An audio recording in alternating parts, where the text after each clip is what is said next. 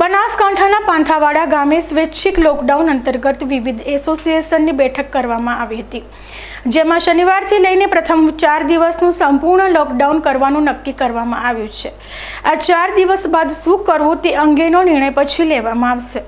જો કોઈ વેપારીએ લેવાયેલા આ સ્વૈચ્છિક લોકડાઉનના નિયમોનો ભંગ કરતા જણાશે તો સરકારના જાહેરનામા મુજબ કડક કાર્યવાહી કરવામાં આવશે.